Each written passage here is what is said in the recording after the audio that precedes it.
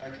Um, jeg har været her på Hype4DK to gange til det, og den her gang har jeg lyst til at lave noget, som fungerer.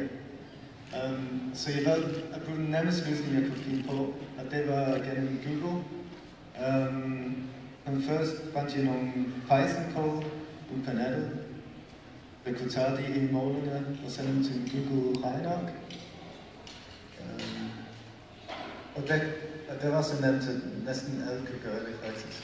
Øh, man skal bare kopiere kode fra nettet, og det fungerer med det samme. Um, den anden krav var, og regnearken kan også vise um, graphs, um, som er også ret nemt til selv. sætte op. Så næsten alle kan være med på det. Um, vil vi se næste slide? Ja, den første krav, jeg fik fra Christian, det var, at han skulle få et øh, besked, hvis det skete noget øh, inde i samlingen.